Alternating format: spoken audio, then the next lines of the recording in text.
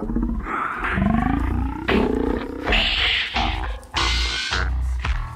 the Fun Box. It's the Fun Box Podcast. Fun Box Podcast. Oh, Podcast. Fun Box Podcast. Fun Podcast. Fun Box Podcast. It's the Fun Box Podcast. What's going on, everybody? Welcome to the Funbox Podcast. My name is Rob Webb, your host. Thank you for tuning in. Uh, if you haven't already, click like, sh- share this video, subscribe, do all those cool things to make me feel good inside. And uh, it does help out a lot. And like you said, thank you so much for listening and supporting me. And uh, got a lot of cool stuff coming up in the future. Uh, we are now officially on Spotify. Funbox, the Funbox podcast on Spotify. Uh, look us up. Uh, and uh, share that as well and tell all your friends. Today, uh, I have a good friend with me. Uh, he is uh, just a, a a nice, wholesome young man. What's up? His name is Mike Long. Everybody. Yeah, yeah, nice, wholesome young man. Yeah, I don't know. That's I uh, wasn't prepared today. I I uh, figured you must have talked to my mom or something like that. That sounds like something she would say about me. Yeah, he's a he's a nice, wholesome young young man. He means well. He does. But you know, that's gotten me into trouble in the past. You know, I have uh, good intentions sometimes, but I still make bad decisions. Oh man, don't we all, Yeah. dude? I was talking about a lot of my bad decisions are alcohol influenced. Mine too. Mine too. Well, the bad decision was not. Well, the bad decision was before I was drunk. Was getting lifting the glass up into the air and into my mouth. Well, see, it's it's really got me reflecting a lot, obviously, because um, you know I am in recovery from alcohol, alcohol use. Yeah, I am an alcoholic, Rob, and um, we everybody is, dude. I took AA class when I was 19 because uh, underage consumption, and according to that class, it's like if you have a beer a day, you could be you're an alcoholic of yeah, some sort. it's uh, it's really hard to define, and it's kind of not even worth it because it's a lot of that stuff that I think about. You know, even when I was young, I was like, "Well, there's no way I'm an alcoholic because alcoholics like they can drink, and I suck at it." right. That's you know. Um, by the I time cannot hold my liquor. by the time I actually got good at it, I didn't want to be that good at it. yeah. Um, But um, I, I I don't know. Like even there's so many different types. There are people who, right from the rip, they could hold their liquor. They were blacking out constantly. Like I remember the first time I ever blacked out. I was 15 years old, and uh, remember when everyone would go to the bowling alley. That's like where everybody would congregate, all the teenagers and whatever. Yeah. I was uh, I was drinking with Brian, who was just on here. Was that last episode? Brian Bunn, Yeah. Yep. Yeah. Last week. and uh, so yeah, a couple of fifteen-year-old kids drinking whiskey. That was the Wow. first time I ever drank whiskey. I, did, I had my first drink at 16, and it was like a wine cooler, and it was like in somebody's back porch, and it was just a drink, you know. And actually, there was this guy that lived in the trailer park. His name was Teddy. He might be in jail or dead by now, but he gave kids booze, and Yeah. we went, and I heard about it. We went to his house, knocked on his door, and it was nighttime, and he he gave us a bottle of uh, it was called like Lucifer's Ale or something, and we drank it in the woods, and I I was mad because it didn't get me drunk. I see, like the first time I ever drank. Well, I don't know. I was kind of. I'd say. I'd say that I was a good kid, but really I was just afraid of getting in trouble, and that kind of kept me at bay as far as like people trying to get me high for the first time or anything like that. And then when I finally did smoke weed for the first time, it was I hadn't even had alcohol yet at this point. And man, the next day I was like, that was fantastic. I am doing that as much as possible. Right. And the first time I ever got drunk, it was just oh. plan B. You know, like Yeah. we, we we wanted to, we were looking for our dealer. He happened to be like 21 or 22, and he's like, "Yeah, you know, I don't have anything, but I'm going to the gas station right now. I'll grab you some beer." So the first time I got drunk, it was like not even three beers because I couldn't even choke down that, you know, the last foamy bit of natty light or whatever it was we were drinking. Uh, last time I drank Natty Light was New Year's 2001. I, I projectile vomited uh, in uh, Zach McKenzie's living room, living Yeah. room, yeah, in his farmhouse. Uh, but yeah, the first time I got high, uh, two friends of mine uh, in the trailer park came tapping on my window. I was waiting for them because I knew I, want, I was going to smoke weed for the first time that night, and they took forever to get back to where, where they were at. They were camping or something with their dad, with his dad. He came back. It was like 3 a.m. and uh, he taps on my window and he's like, and they they're just looking at me like, you know, holding up the joint fingers, you know, uh, like, hey, we got the weed, boo, doo, doo, doo. come on. And I, I snuck out and uh, we went in the woods. We I built a fire, and we and they started blowing shotguns to me, you know, and I, I thought I didn't know I didn't need that much. I, I thought I had to smoke a whole bunch to get high. Yeah. I got so high, I lost I lost train of thought of anything of what reality was. I started crying and like running into the woods away from everybody. Yeah. like the dark, scary woods was more peaceful than being around anyone. Yeah. I know. I I met so many people who talked about like I was 14, by the way. Yeah, I, I was. I think I was about fourteen, and I'd I'd met so many people. Granted, really bad weed when you're fourteen in the mid '90s. You know, whatever it was. Um, it's not like we were getting good quality stuff, but I'd met a lot of people who were like, "Oh, I didn't even get high the first time." Yeah. I I was on another planet the Yeah. first time I smoked. I felt it the, like I felt like I felt it the next day too. Yeah. I woke up, I went to sleep, woke up. But here's the thing, like we got I got super high and then I finally kind of like got more confidence with what was going on and trusting my senses and uh, that's what Scott Anderson was telling me he was that was him. I'll name drop him. Hopefully he don't mind. But uh we uh He's like, trust your senses, senses, bro. And he was rubbing my arm with a stick. And I was like, I want to grab the stick away from you, but I can't. He's like, trust your senses and grab the stick. trust your senses and grab the stick, Rob. And I grabbed the stick and I'm like, all right, I got it. This is the stick in my hand. And then at one point, I had to go back home. So uh, he walked me home. And when I was approaching my house, my mother was lit, letting out the dog, dude. And this is at like four something in the morning now at this point. And I was about to bolt off. I was about to sprint away after she just saw me like an idiot, Yeah. super high. And he grabbed me and grabbed my shirt. He's like, She already saw you. And uh, so we just kept approaching the house. And my mom's like, Robbie, what are you doing? And uh, Scott Anderson, being the witty guy he was, was like, "Hey, Mrs. Webb, this is my fault. Uh, I wanted to walk around, and I needed somebody to talk to." And at that time, cigarettes were like a big thing in the kids around that time, and he, his dad knew he smoked. It was, just, I wanted to smoke a cigarette, and uh, I wanted somebody to talk to. So we went and walked around. It's my fault, and like totally like kind of saved my ass in a way. Yeah. And then my mom was like, "We'll talk about this in the morning." And uh, I went to bed, woke up in the morning, and she asked me about it, and I said, "Well, he wanted to smoke a cigarette." You know, it's just said the same story, and I'm like, "Yeah, I don't know. I'm sorry. I just left. I didn't think it was going to be that big of a deal to walk around the block." And everything's fine. She never knew. She never knew I was high. But who knows what she really knew, you know? I know that that that first blackout from whiskey at the bowling alley.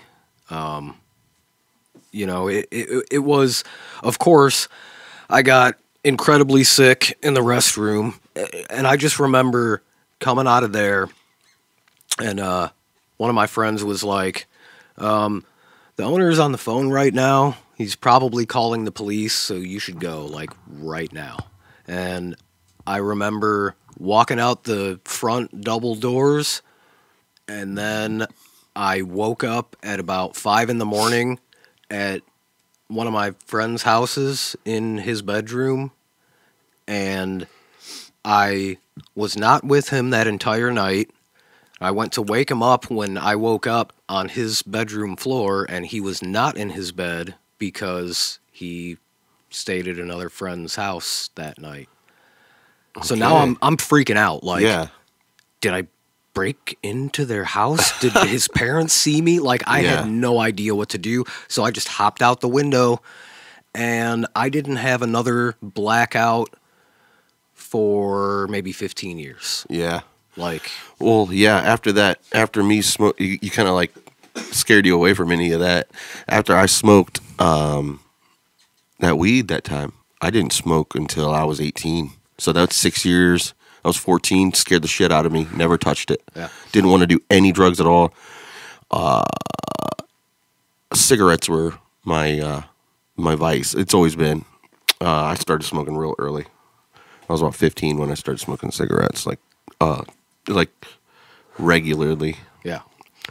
And uh, so now, man, dude, that's been I've been smoking for over 20 years now.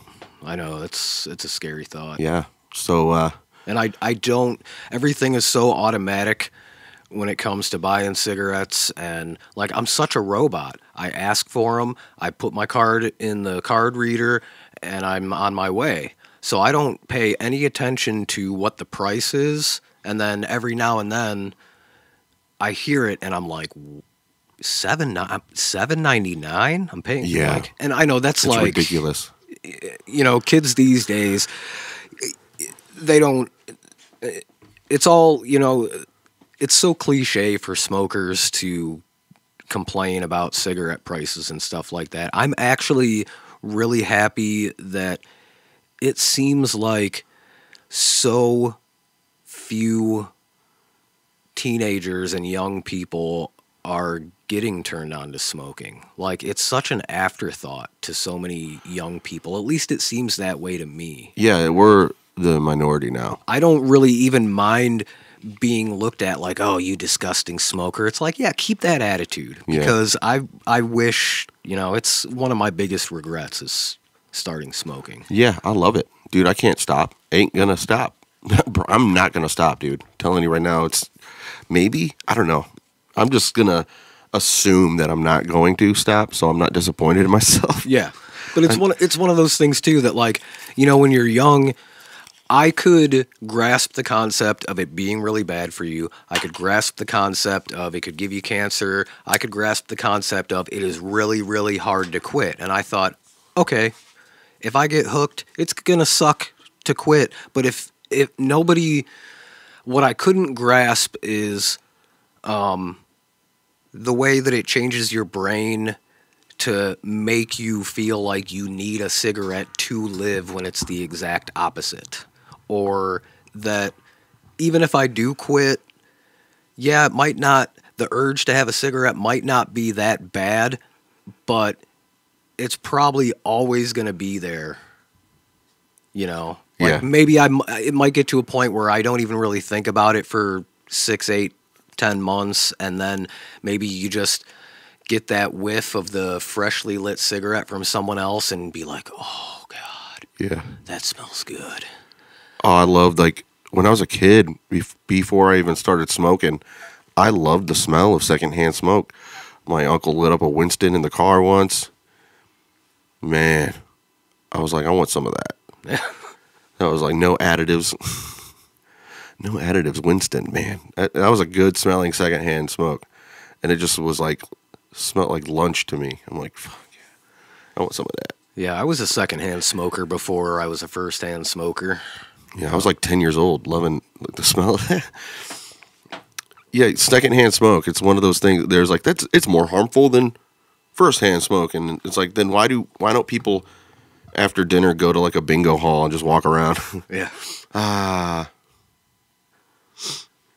yeah. It's what it is. Is the smoke coming off the tip Yeah. and everything, whatever. Well, I didn't realize that either. I mean, apparently, um, you know, you could go to like a lot of Catholic masses where there's a lot of candles and they're the smoky ball. I don't know what it is. Yeah. What I don't know. Whatever that. Yeah, I don't know. the smoky ball, and I guess it can be really bad for your lungs. Um, but I just thought, man, I feel like you'd have to be there a lot, like five days a week, for it to really affect you. But I don't know. Yeah. It's a vice, man. Uh, and you go in the gas station, pay for your gas, or I, I pay at the pump, but uh, or whatever you're getting, uh, whatever it may be. Uh, there's a wall of glory of cigarettes just staring at you It- behind the the clerk. It's just per, it's there for you. Those are cigarettes, a giant wall. And they don't even, at least it seems to me, they don't really clearly post the prices anymore. When I do actually pay attention, it, I'll be like, oh, those are kind of cheap. And then it says when you buy two packs underneath it or something like that. Yeah. Well, like in the hood, my brand is more expensive because that's I smoke menthol. You know, everybody, people in the hood love the menthol, Yeah. Uh, yeah. and I'll get a L and M menthol, and it's like over seven bucks a pack, and I'm like, damn, what am I doing? Yeah. Your best bet is to buy Newports. Like the cheapest you could find them are like uh, in a rural, super rural, rural area, like at a, like at a, at a Dollar General on like Bob's Road yeah. in fucking Nevada, or like in you know, in a super rural area. Just travel south from here and find that one little, you know, country breeze type of little store. Yeah. Where they spell uh, eggs as A I G S. Eggs. yeah. And they do. They do. In Tennessee, they spell eggs A I G S. Eggs. Is that for real? It's for real. Huh. It's like, dude, you guys are so southern, it's not even funny. Eggs and bacon. Hey, somebody get these kids. But yeah, man, thanks for coming on, dude. No problem. You you're here. You you uh, began a podcast. Uh, I suggest you should, you should probably.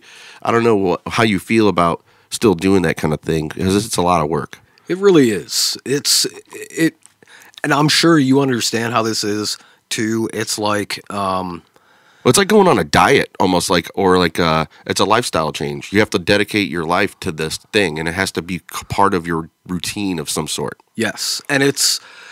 I think just like anything else, you know, with musicians or with athletes or whatever else, there is so much that goes on other than the performance or the event. But man, you live for the performance. Like Yeah. I would look forward to those few hours when we were actually recording the show. And that was that's the thing that drives you. But, Yeah. But man, you know, if you really care about it, um, it's it's stuff like that that made me understand the concept of like an artist suffering for his art because there is i mean you suffer you do Well, like uh, it's actually super sadomasochist of me to do this because I'm I am an introvert type, and the I've talked about it before. I had a speech impediment, and this is kind of therapy to push through it. And it's uh, almost if I was to tell a doctor this is what I do, it's like, do you have to do this? Like, can I be prescribed Xanax, please? Like that would make my life so much better. I mean, I know it's bad for me. It's not a good idea to do that, but if there's a candidate for Xanax, I'm that guy. I've been to the ER thinking I was having a heart attack, you know? yeah And uh, no drugs, none, not under the influence at all. And they, even the doctor said it was probably anxiety, and then it snowballs. You think one thing, one thought leads to another thought, and you could get phantom pain, or phantoms, and, or con- subconscious, like your brain will create these pains or these feelings that aren't even existing yeah because of your anxiety. I thought I was I was having all the symptoms of what a heart attack is. I, I think i was in my mid 20s, maybe even close to 30, by the time I realized that I suffered from anxiety. I was like, that's what that is? Well, it seems like everybody does in some fashion. They they suffer. Uh, sometimes I think people that talk about it online a lot. You, I am an anxiety, blah blah blah. I suffer from this and that anxiety. It's like, do you? I don't talk about mine. I've had it so bad to where I need to pull a car over. yeah. I've had it to, uh, or uh, um, you just want to flip a table. It's insane. Like I get this almost. It's almost like hyperventilating, even though I'm breathing fine at the I've, same I've hyperventilated one time, and it was when I got on the wrong boat. I was supposed to go to uh, Kelly's Island, and for some reason, I got on the Put-in Bay ferries. I don't know why, dude. My brain was just not. Uh, it was a really active point in my life. I was doing a lot of gigging, and I was playing at Put-in Bay and Kelly's Island, and it was just like. I got confused what island I was going to. It's like, what the fuck? Yeah. How do you do that? Well, if you're not from around here, Lake Erie has some islands you can visit, and uh, Kelly's Island is one of them, the biggest one. And uh, you could see the uh, glacial grooves at the Kelly's Island. You could go into the caves. Put-in Bay has the world's largest uh, geode. What do you call it? Uh, yeah, it's a geode, right? Those rocks you split open. I've only been to Put-in Bay once, and it was for a bachelor party. Imagine that. Yeah. I've been there too many times. Don't want to go back. Yeah. Do not want to go back.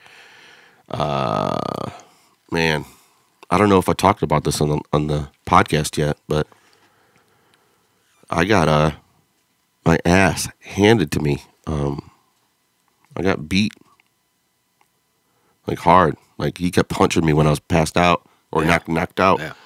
and uh, don't want to go back.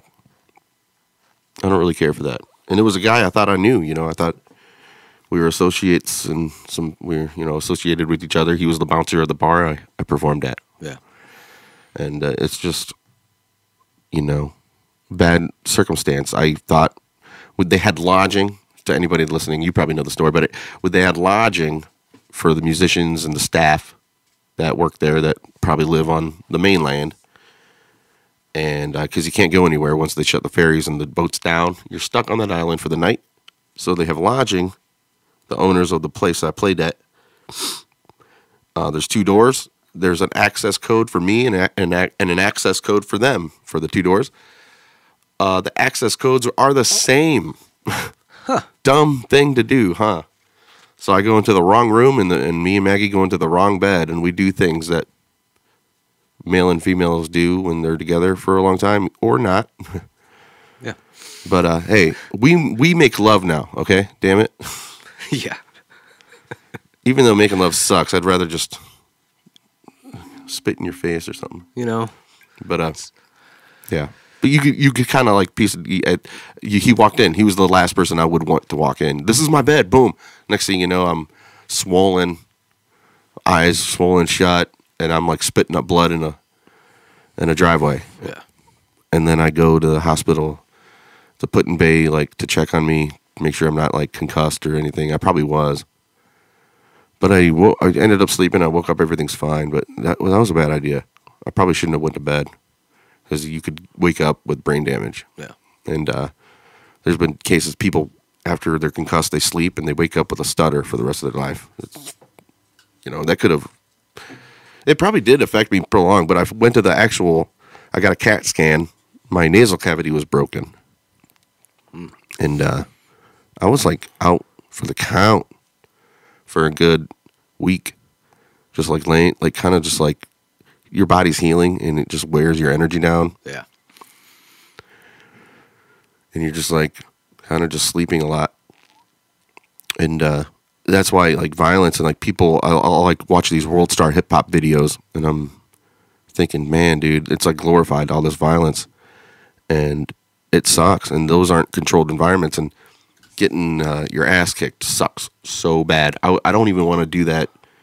I don't want to do that to somebody else for a stupid reason you know unless i'm defending myself. No, I was even always one of those people where, like, if somebody hit me for no reason, I think most people think, well, you know, eye for an eye, or now it's like I just don't have it in me to cause harm to someone else. I would have to be, it would have to be like a fight or flight response, and I'm probably gonna flee before I'm going to fight. Like that, it's probably my last resort. Oh yeah, I, I will definitely fight. walk away. I, I prefer to walk away. Call me a bitch, call me a pussy. I don't care. I don't have anything to prove to anybody. I got. I, I want to stay out of jail, and I don't want to die. Yeah. And uh, you know, and it could speak volumes to him in the in the future too. When he, if you know, the turn the other cheek attitude might sound weak to people, but uh, the point of it is to show the person that's causing you, that's doing that to you, is to show him uh, self reflection on himself. That's the point. Is so, oh wow, he didn't even get mad at that. You know, maybe later on in life he'll realize that it's not the thing to do just to go ahead and beat somebody's ass to a, to a dirty pulp. I mean, that had to have been a profound experience. Definitely not a pleasant one, but I mean,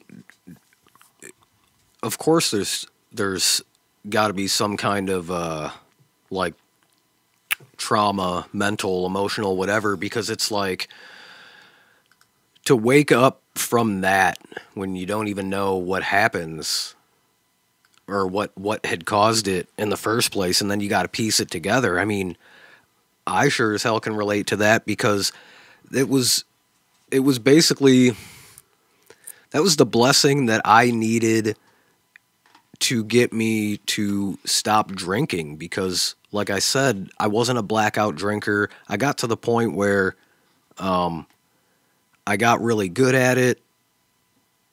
Could put down a whole bunch of beers, bunch of shots, whatever else, and I would just pass out. You know, I would just drink until it was Yeah. time for me to sleep. And then once I did start blacking out, it was like I'd wake up on the couch and be like, "Huh, I don't remember going to sleep." But I, you know, I was usually, I was always at home.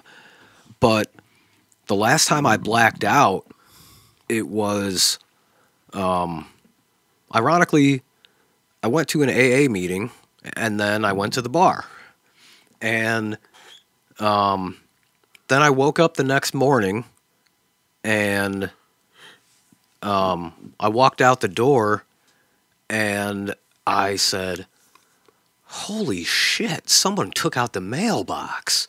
Totally ripped out of the ground, completely fucking destroyed. And I'm like picking up the pieces and stuff like that because I got to go to work. And for whatever reason, I'm like not a hangover guy. I can drink till kingdom come and I might be a little out of it for the first half hour, but I don't get like the real bad headaches or feeling sick in the morning or anything. I can just go and um, walk around to the other side of my vehicle and I see the damage and it just from that moment at first Reality. it it really blew my mind because I it at f- the first The reality thing, train. the first thing is how could I have done something like that and it it didn't even spark a vague memory like there was nothing Yeah. it's like it didn't even happen and then the more I'm processing it the more I just couldn't get it out of my mind that I am now to the point where I am capable of drinking to a blackout and getting in my vehicle and killing a human being. Like Yeah. I, I killed a mailbox. That Yeah. mailbox was dead. Dead. I could kill a human being, and it's like I couldn't shake this feeling that even though I knew for a fact I did that damage to the mailbox, it felt like I didn't because I had no memory of it uh, at all. Right. And I was like, what would it be like then? It, if it was a person. yeah. Like, how can you feel guilty when you don't have a conscious of it? Yeah, even though you know that You you, did did, it, it, you yeah. could show me the footage of it, everything, and that it freaked me out so much that that was really kind of like the jolt that I needed to be like, you know, maybe I maybe I need help. Like Yeah. that's that's when I was ready to actually accept help and and like that kind of started the whole journey. And then it's like now I've been sober a year, and um, I I am just starting to realize things like I am perfectly capable of making bad decisions and being a bad person while sober. Yeah.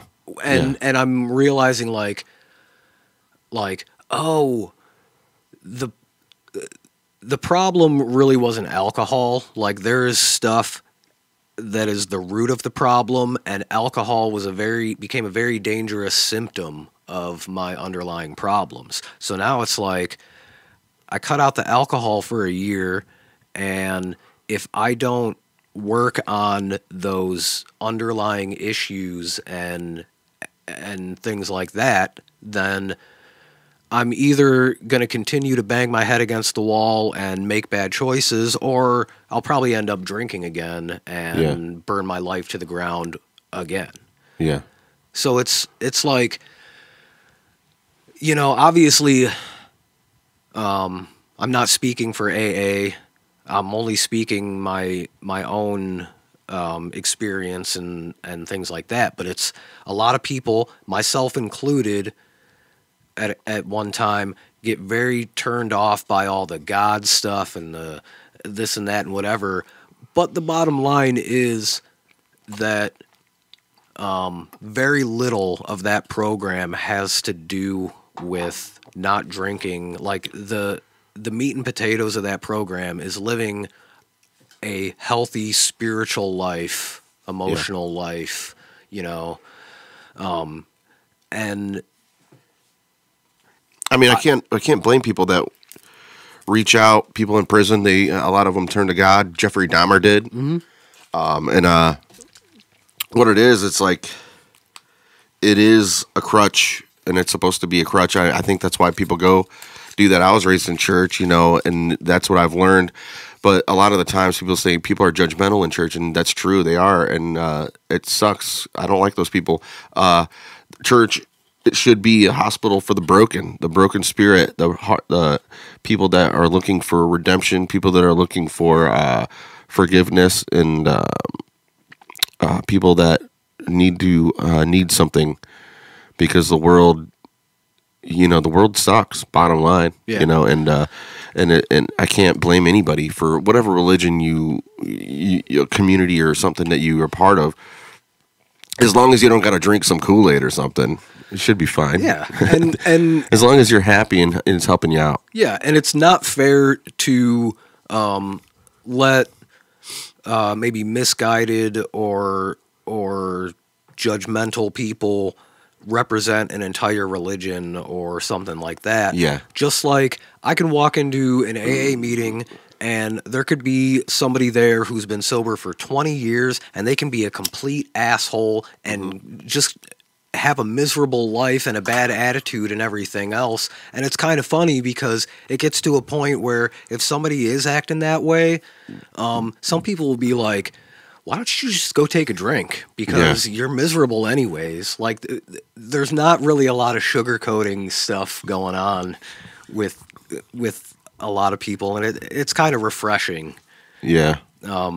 but then there's so many good people and so many people who um, are walking a good path and it, it, it just there's a lot of things that i didn't understand i, I couldn't have recited the 12 steps um, and then come to find out what are the 12 steps? well like for example the first step Of you know- recovery? yeah like you know every everybody is like oh you have to admit you're an alcoholic you know Yeah. well the first step is um, we admitted we were powerless over alcohol that our lives had become unmanageable now that first half admitted we were powerless over alcohol that is the one and only time that alcohol is mentioned in all of the 12 steps The first step? the first half of the first step.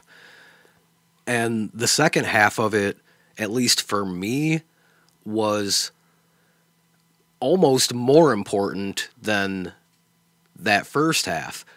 My life was unmanageable.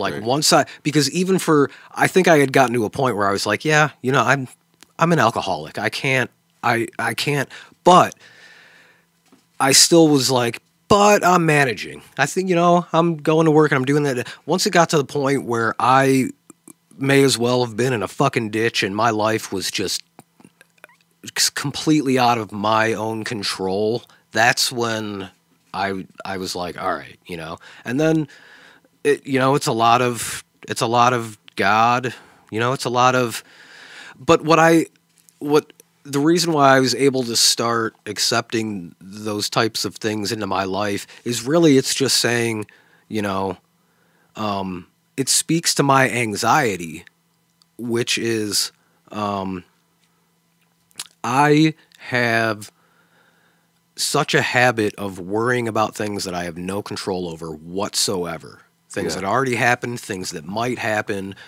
playing scenarios in my head of every possible outcome of this thing that's coming up. And then I have a ton of fear over um, making simple changes in my own life.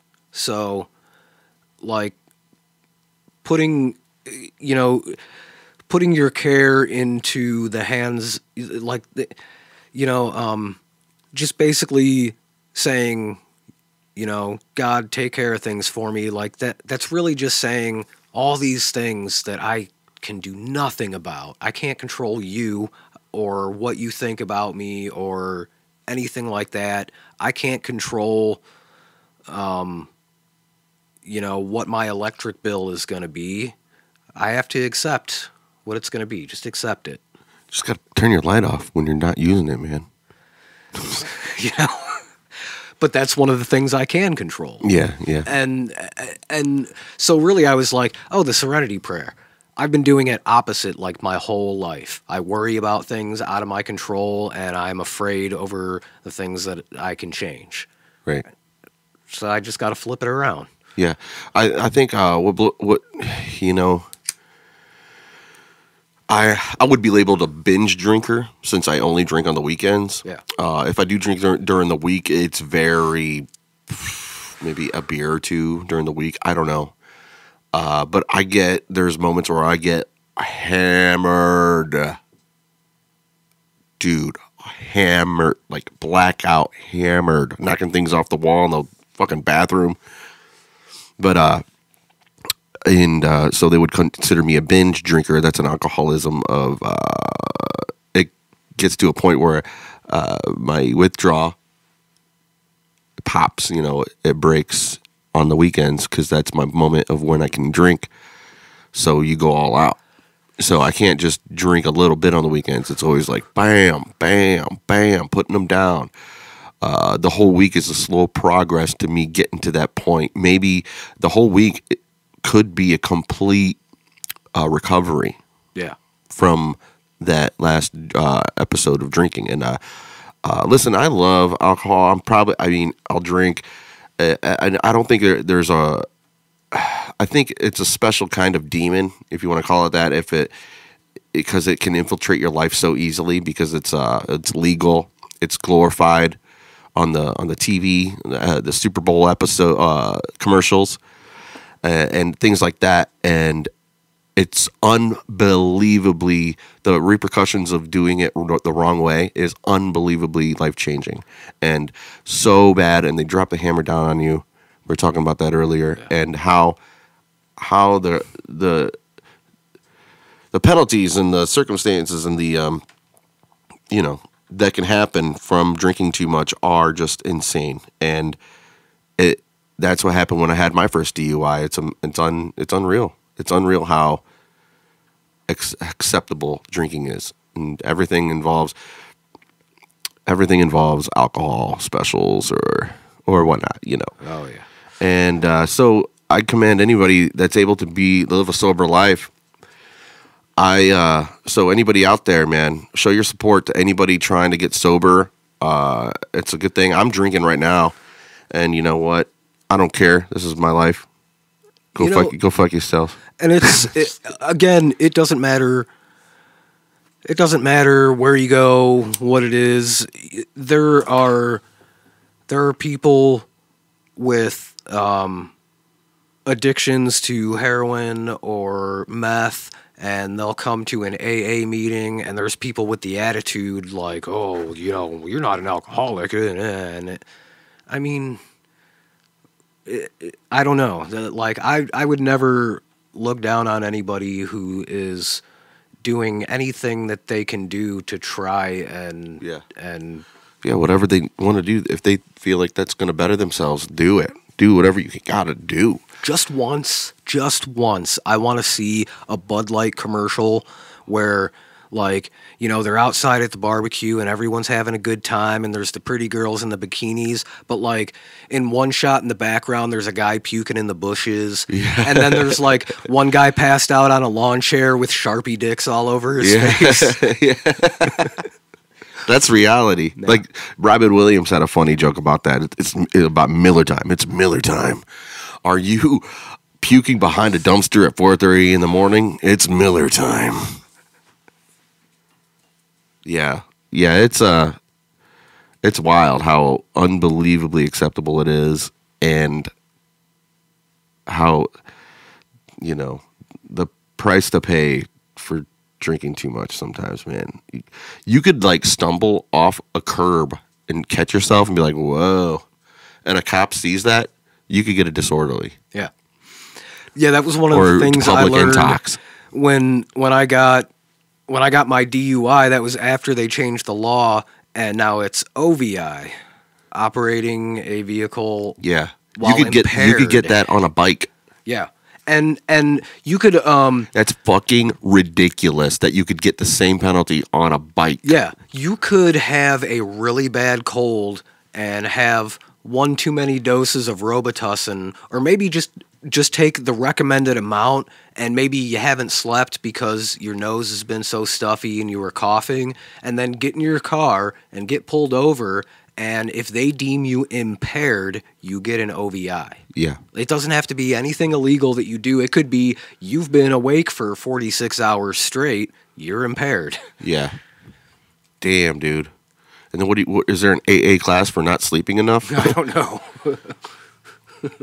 Jeez. Uh, my name is Rob Webb, and uh, I work too much, and I don't I don't sleep enough. Hi, Rob. I've been I've been sleeping for the last thirty days. you get a white chip yeah, with a, and they, everybody hugs you. Man, but yeah, on, this is this is the fun box, and I want everybody to know, uh, like, why? How come when I tune into your channel, you uh, you talk about a lot of serious issues, and uh, whether it be politics and this and that, and your opinions, and and it gets real uh, serious on the fun box, and I'm like, well, the fun box is first off, it's just a name. Uh, if anything, I wanted to start a podcast in general, and you know, I'm a fun guy, and uh, yeah, so yeah, a, a mushroom walks into a bar. Ba-doom. And uh, he asked for a bunch of drinks. Uh, I want 12 shots of tequila. And the bartender's like, What are you, an alcoholic? He's like, No, I'm just a fun guy. that's where the rim shot comes Yeah, that's where the. But I, I don't have like buttons yet. That's another thing I got to work on is like a soundboard. And uh, uh, I need other people to help. I need like a producer or like a fart button pusher. yeah or something like a third guy.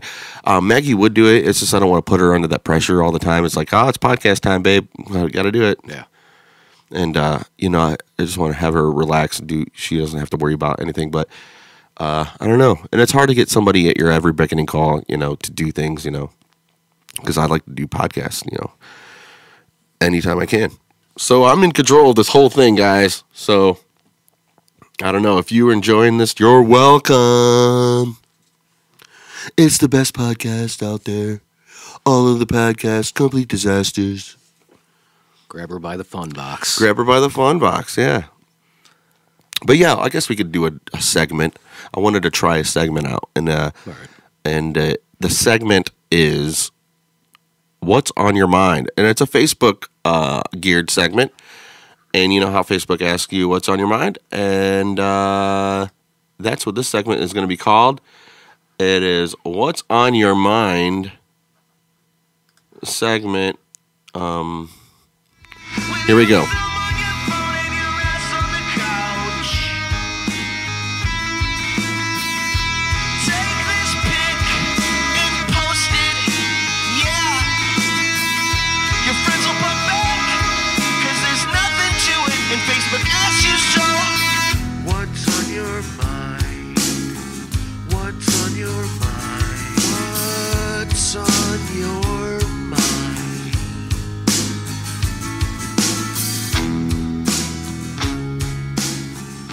And a lot of these things on the What's on Your Mind thing are memes. So these are my favorite things. What's on your mind for the week? Some of the some of my favorite memes. We'll go with number one here. Oh yeah. Oh, geez. This guy has a forehead that's caved in, and you know how the ramen noodle craze, people are fixing things with ramen noodles? Fill in his caved in forehead with ramen noodles, sand it down. There we go. I like that one. That was a good one. I do. I want to know. It looks like it would have been maybe a four by four post or Dude, something. I don't know what could have done that. Oh my god! Because it, it does. It, he broke bone. He must have broke bone, but it's. It looks like it's missing. Like his skull is missing. I don't think it. Yeah. I don't think his. uh he has a scar, and it looks like he had to get like Yeah. those bone fragments taken away, and that might be his brain. Like you know what I mean? Yeah. Like uh, under his skin, like a, a, a complete Well, he can't ever go into a sauna dude. because no. that, those noodles are just gonna Yeah. soften right up. But yeah, that was good. I was uh here's number uh, let's see number top five best uh memes. Here we go. Um, I, I like this one. It's uh, do you man? Do you have that new book on living with a small penis? Librarian. I'm sorry, I don't think it's in yet. Yeah, that's the one. Yeah, it's a good joke. That's good. It's a good joke. Gotta like that. Okay, number three, or number yeah, number three. Uh, we got DMX looking all DMX out here looking like Blade's uncle's steak knife. He's got pleated pants. Pleated pants. Yeah. Hey, why not? It's good. That's number three. Number number uh, two.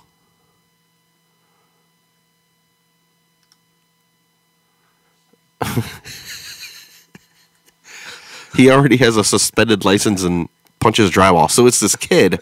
To anybody that doesn't, if you're on YouTube, you could see this. But if you're not, if you're listening on Spotify, it's a picture of a kid that is lined up good. You know how people get these haircuts at these uh, barber shops, and they get they get lined up like to a T to a razor razor's edge, pristine line. And this kid, yeah, there you go. He already punches holes through drywall. Yeah. I like those starter packs too. Oh yeah. Oh man. It's like the guy that yells at his girlfriend in public starter pack or something. Oh man. All right, and number one. This is a a GIF, I believe.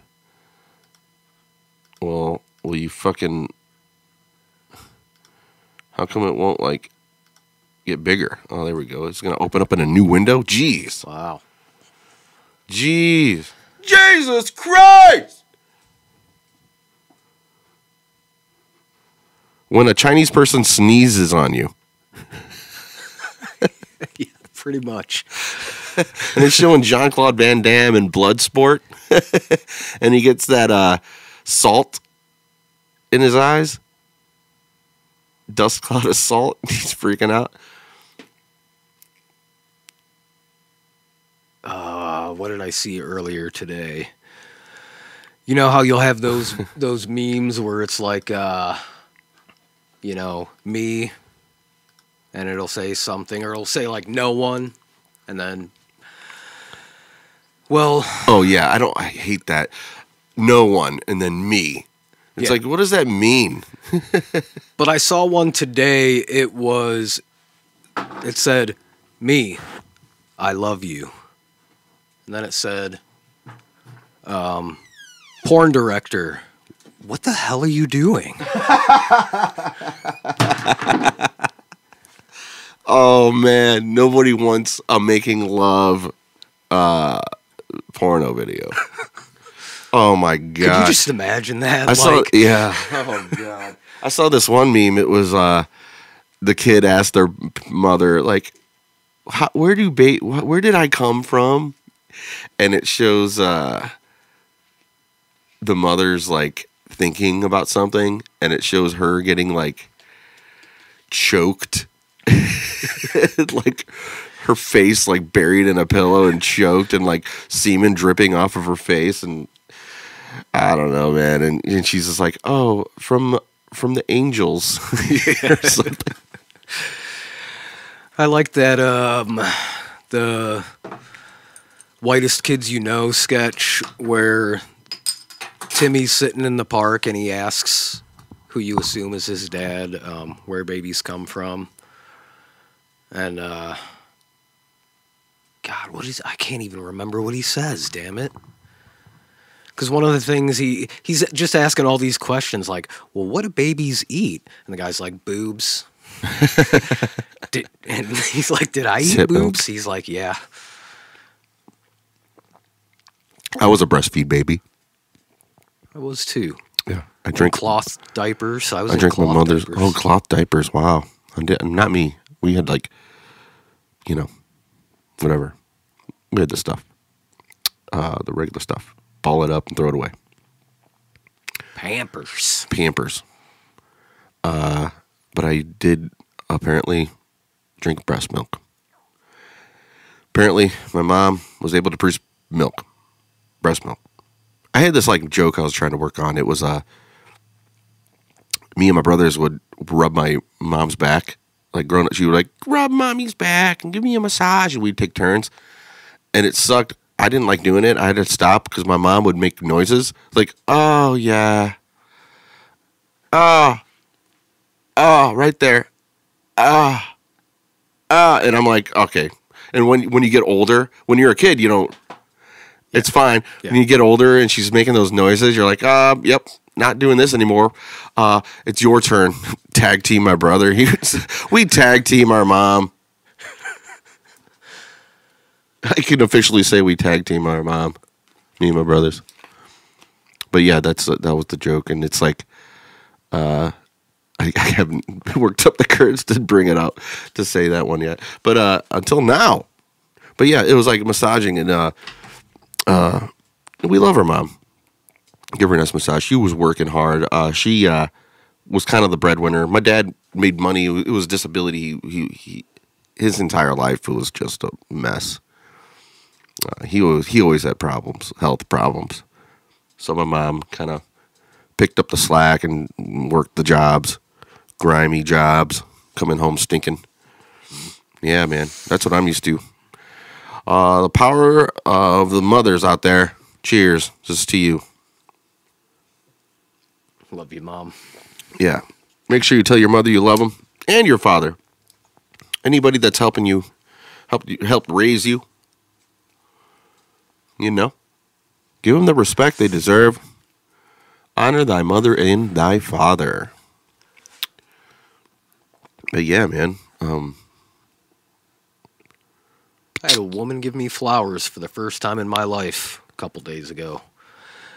But it wasn't the typical flowers. Um, it was uh, balls in a sack.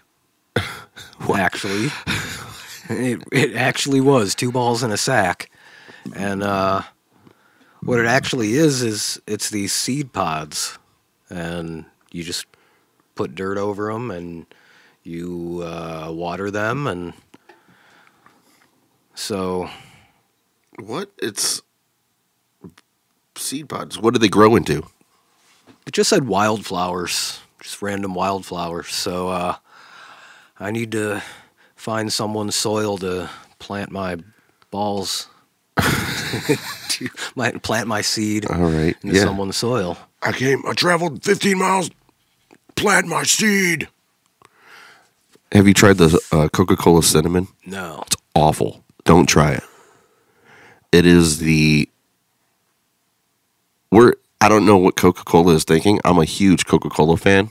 I strictly only go with Coca-Cola most of the time. Oh, see i'm a pepsi guy Yeah, I don't know I don't know what it is. Coke has like this um I think what what sold me on the Coca-Cola was McDonald's Coca-Colas are just so delicious and I'm chasing that dragon. yeah But uh, no, to me, nothing compares to a ice cold Coca Cola. I'm not sponsored by them. I should be. But cinnamon Coca Cola sucks. It tastes like some you turn your head and somebody poured cinnamon in your drink. And and then you're drinking it, you're like, oh wow, this kind of pisses me off. Every little drink that you make kind of just pisses me off. And we uh, Maggie accidentally got a whole 12 pack of the stuff. She thought it was uh she didn't really look at it because the colors are the same as the cherry coke. And brought it home and was like, I got cinnamon coke. I didn't even know this was a thing. I'm like, yeah, me neither. Horrible. So if you're out, don't buy cinnamon coke unless you really like Coca Cola mixed with cinnamon for some god awful reason. I don't know. Yeah, and if Fucking uh, alien.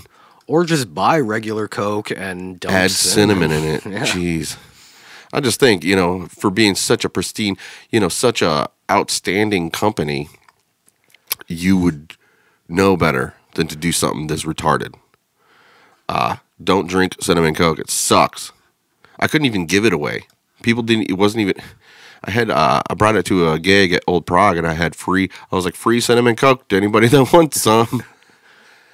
and they were trying to come up with like drinks at the bar. Yeah. And I guess uh, vanilla crown was the best thing they mixed it with, and it tasted really good. So they even tried. We tried. They tried crown apple. It was like apple cinnamon, like an. Uh, so it's like a Jack. It's like a whiskey and coke thing that you would Yeah. li- you, you would like. But then, uh, so let's do apple whiskey and cinnamon coke. See what happens. You know, sucked. Apparently, it sucked really bad. Yeah. So what they said is the vanilla crown was the winner. So if you're gonna get cinnamon coke, do vanilla crown. Oh yeah, yeah. Uh, after uh, uh, an, a talk about alcoholism, Well, that's still the first. That's the first place my mind went. Is what can you mix with it? yeah, like if, if it's not going to taste good on its own, it, you, it's got to be good with whiskey. You You're right. think, but that's even one of those things. Like, um, you really got to give credit to uh, people in marketing and advertising because I'm seeing more and more products where it's like, um, like, man, what are we gonna do with these broken Reese cups? And they just bag them up as pieces of of broken Reese cups that you can sprinkle on your ice cream or do something like that. So they found a way to take these reject pieces, and I'm seeing a lot more products doing that. So like, you know, that got that that got us thinking because I work at a place where it's a lot of we cook a lot of breakfast and lunch, you know. So we get some of those. You throw them in the pancakes, you know. It's a little different than your uh, typical blueberry pancakes or chocolate chip pancakes, and we're like, well, what other candy bars could we possibly throw in there? And some of the ones you think would be good, like I would have thought Butterfinger, crush those up, throw them in there, but the the uh, wafer part of the Butterfinger, it gets all like like chewy, and it just it doesn't work at all. And then something that you would think would be terrible for it, like a Milky Way with all that caramel and stuff like that, that actually turned out really good. Right. All right. Have you heard the story about this kid, Quaden Bayles, got bullied? Yes, I I haven't seen the video though. I I just saw like kind of it being posted and some of the aftermath. Um, apparently it's fake. I, I don't really know. There's like two worlds going on about this. There's a lot of people saying this isn't real. This kid is actually 18 years old, and which would blow my mind. Uh, and then they're saying that it's real, and there's celebrities donating money. There's over two hundred thousand dollars that's donated to this kid. But then you look at the mother, she's just like videotaping him. I think her mother's just using her kid to get money. It seems like. I don't know. I understand this.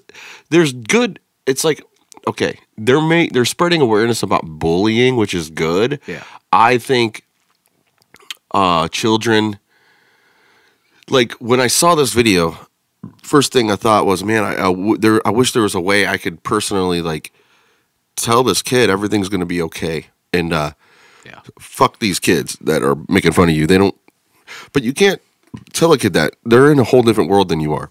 They're young. They don't understand what it's like to grow up to be in their 30s yet. They don't know what that's like. They don't know what it's like to they know what they know. They're young and they have kids their own age saying these evil things to them and that's all they know. And uh, you telling them anything, they're going to be like, you don't understand. And they're not going to understand that we do understand. So, because I know I didn't. Any parent that or adult that would tell me it's not important, don't worry about. They're just jealous or something, or they're they're they're just mean and they're not to. They're just bad people. It doesn't matter. You're in that world. There's the flip side of it too that I've noticed as a parent where it's like um, sometimes it's hard to appreciate that um, children um, their emotions can get so out of control so very logical things like like you should know that um, crying because you didn't get this thing you want, like no matter how much you cry, it's not going to solve your problem. But they're a kid and they're overwhelmed with emotion, you know? Yeah. And sometimes I'm like, why can't you see? Well, and sometimes I have to like take a step back and be like, oh yeah, because you become this frustrated parent. Yeah. Um. Yeah, I would. It- it- yeah, there's nothing that you could really say to make everything better to a kid that's getting bullied. Um. ah, even if you took the kids and smacked them, you're like, "Here's your bully," and just start smacking the shit out of this kid in front of in front of him to give him pleasure, or like hold, hold his arms down. Now, give him a nice punch in the nose. Maybe I don't know, but uh, uh, my dad always told me to defend myself. I never was a victim of bullying. I got bullied, but it didn't. It wasn't prolonged. It was always like an instance, and they realized it. They didn't get much out of it, and I just kind of shrugged it off and was like, "Yeah, whatever." Yeah. And uh, they it, they they wouldn't invest any more time. And I realized a lot of victims of bullying are very passionate about not being bullied, and they're like, "Stop!" And they love that. Bullies love that shit and they want to they want that reaction and uh, a lot of bullies don't even know they did anything bad. Even after school they'll be like oh you know they looked at it they were just messing with you Yeah. and uh, that's just their personality. And uh, little do they know they were affecting you a lot emotionally to to the points of wanting to commit suicide. Like this if you haven't seen i mean if you're on the internet for the past 24 hours you've seen this kid this uh, he, he he has dwarfism so he has like that embryo sized head and he is telling his parent school witnessed a bullying episode, rang the principal, and I want people to know, parents, educators, teachers, this is the effect that bullying has. I'm gonna do with give me a he's like give me a knife. I'm gonna kill myself. Got some good advice, but I need more because this is the effect of bullying. he's like i want to die. Dude like i felt it's like i felt so bad but then i found out this kid's like 18 i don't even know if that's real. I don't know what to believe. But either way i'm just gonna take it as a naive person. Um I- it's kind of like people will get mad at homeless people asking for change and they'll be like why did you and i'll give them some money and somebody might say why did you give him money? You know you're gonna, he's gonna spend it on like booze or something. That's not my th- that's not my job is done. I did the right thing. Whatever he does with the money i give him it's on him and that he has Yeah. to take that up in whatever in the judgment seat of Christ when he dies or you whatever whatever it may be. In his life he's go- in karma whatever you want to call it in his life he's going to have to deal with that. I did my job as being a good person. That's my hands are clean as far to to me to deny to not give somebody money that's needing it or asking for it and if I have it to spare to not give it to him because I'm assuming he's going to spend it on booze is not a good reason to not give him money in my eyes. I say I'm going to do it in as a, the gracious of my heart in some fashion of uh, trying to be a good person and help this other person out and he's going to do whatever he does with it. That's not on me anymore. Um I'm not enabling him. He lied to me. You know, if at that point, you know, I'm I'm just taking his word for it. Uh, who am I to judge somebody to be like, oh yeah, you're probably just going to spend it on booze? But what I'm saying is like, as far as this video, let's say he is. This is all a bunch of bullshit. Yeah. All right. I'm gonna take it as it's real, and I'm gonna. And if you're conning me, okay, I'm not gonna donate money to this. Uh, but because you already got two hundred thousand dollars, I was like, "Where's my midget I could use to get some money?" But anyway, um, uh, I'm gonna look at it and I'm gonna feel sympathetic for that, and I'm gonna use this video as being sympathetic towards any kid that's getting bullied. And if you have a kid out there that's getting bullied, and I really don't know. Uh, as a parent, I would I would just show love, as much love as you can. Um, not too much love, but uh, as much love as you can to your kids and uh, to your friends' kids, and uh, they need to be around a community of people uh, the outside of school because uh, a community of people that support them and give them confidence because school is fucking horrible. I hated school. Still to this day, will not want to go back to school. But let- let's watch the rest of this. Who knows? This is what it's doing. And I want people to know how much it is hurting us as a family. I want people to educate their children.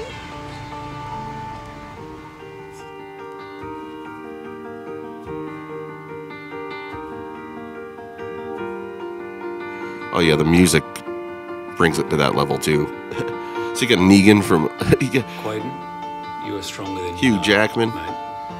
And no matter what, you got a friend in me. So You got everyone, let's please be kind to each other. Bullying, bullying is not okay. Period. Life is hard enough. So let's just remember, every person in front of us is facing some kind of battle. So let's just be kind. Hey, Quady, how you going, guys? Just want to wish you all the best, brother. We know you're going for a hard time right now, but the boys are here. We got your back. We're here to support What? you, bud. just want to make sure that you're doing all right. What Make sure did you just say? Your mum's on your side. We're on your side. Just make God, Australian accents, dude. I know. We want I, dude, I, I made this joke online. I don't think people really got it, but it was like, uh, I was like, I was really sympathetic until I heard their accent, and then I didn't care. it's like, goddamn Australians, I can't understand what they're saying. All I'm saying is, in America, we have the best accent. The standard American accent for English language is the best. They can understand me. That's all I'm saying. They can understand me. Yeah. But then they eh, you hear shit like this. You're like, dude, what is you backwoods gutter gutter weird English accent? Fuck that. Like Eng- yeah. They're like, oh, English, we made up the language, blah blah. We we have the best dialect. And I'm like, no, you don't. I can't understand you. Hey, what do you mean? Oh, yeah, yeah. You can understand me, and I can't understand you. I have the superior dialect, bitch. around. We want you to lead us out on the weekend. And, um, I gonna digress. Uh, it won't water us and it will to you, bud. So just make sure you- you're looking after yourself, and hopefully we're going to see you in the next couple of days. My man, uh, I don't know your name. I don't know your mom's name, but I saw your video. Uh, what I want you to know is that you have friends, um, me included. I am your buddy. Hey, Quaden, my name is Siri. I want to be a friend. I, I've been where you are. I've been so sad that I didn't want to be there anymore. But I found a way through it, and I feel confident that you'll find a way through it. There's so much beauty in this world. I wish I could just come to your school, watch your every move, and I'll stand up for you. Hell yeah, I love this though. Uh, it- it- who knows? There's a lot of people saying this is a fake video. If it is, then that, that my point goes to whatever. That's on the mother, and she's gonna have to live with that. Yeah. If that's all, if ev- and and and the little kid who, if it's a little kid, I heard he's 18 or I don't even, I don't even know. I don't think he's 18. I don't know. I don't know. I think people find things out, and who knows what's really happening. If we're be, if we're getting played, whatever. I'm playing into it. Uh, if it if it promotes loving your kids and uh, being better people to each other, then whatever. What harm is done? I'll There's be your harm. friend, through and through. Hey, quiet. My name is Alessandra. I'm also a victim to bullying, and no matter what, you're going to be the best kid ever. Did you see and the username? What was the username? Look at the username.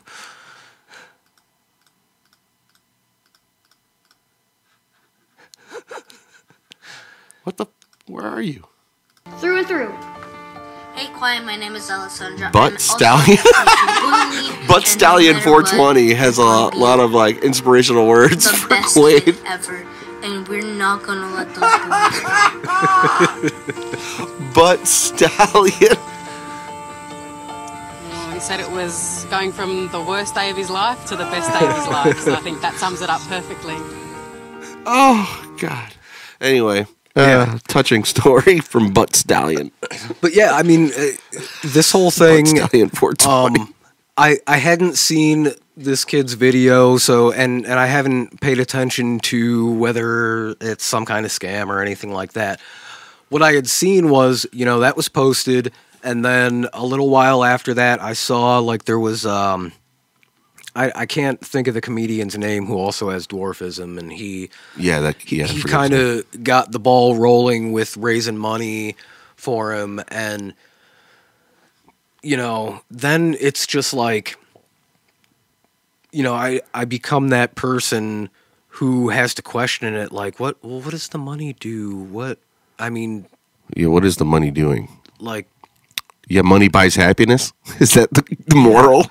or or i mean does it give him the opportunity to be like thanks a lot bitches Yeah, look at me now Woo, making it rain. now? But I mean, because I would assume it would be, um, you know, they hopefully they would do something for good. It's uh, used as a scholarship, or they start some foundation for kids who are bullied, or something like that. And then, all right, that's great. It just.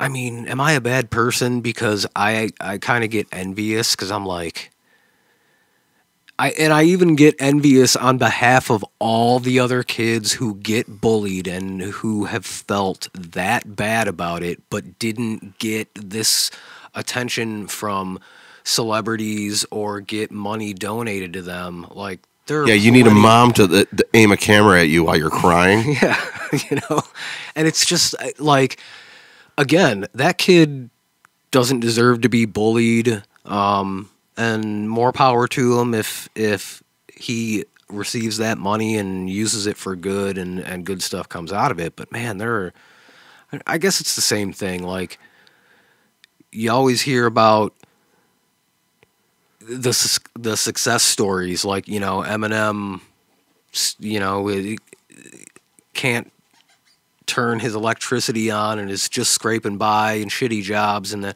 well not everybody has the the rhyming skills and whatever else. And and maybe even I'm not saying like oh he's lucky. All Yeah. right, he he worked his ass off. He's got a lot of talent. He's Right. you know what I mean? Um it's Yes. tough It's kind of like a, I was uh, on where your heroes lie. Like, uh, everybody's just a person and has faults. It's like I remember being at these like gatherings in school or what do you call them when when a speaker comes in, the whole class or something sits down and listens to them and inspiration and stuff. And I remember there was always there was this kid that had uh, cerebral palsy. And he was in the front, you know, with his wheelchair. And uh, the speaker that came in was like an ex NBA player or something, and uh, he was talking, and he was like, "You know who my hero is?" And my hero is that man right there, that or that that kid right there, but in the front, in the wheelchair. And it's like he doesn't even know this kid, and uh, he's in a wheelchair. It's like, what if that kid like got handicapped because he was jerking off to snuff porn and like fell out of it? yeah fell out of his chair or fell, you know, like and landed on a pen and it stabbed his spine, you know, whatever it may be. like, do you know the whole story? Do you know what goes on in that kid's head? If you did, he might not be your hero. I mean, there's even things like now that I get older, and even as as a father myself, I look back at my own childhood, and it's like, you know, all that you can do anything you want if you just set your mind to it and you work really hard and whatever. And it's like, not. I, you know, okay, that's that's nice, really good advice, but pretty sure no matter how hard I worked, I probably wasn't going to become the best NBA player in the history Yeah. of the NBA. Like it it's just not going to happen no matter how bad I want it and no matter how hard I work for it. There was this funny comedian just talking about these uh, back in the '90s. I think it was. It's an old. Uh, it was like an episode of like Phil Donahue or something. I don't know. Maury Povich. Who knows? This this woman that has like a midget attached to her head. They're they're conjoined twins and they're attached by the head. Yeah.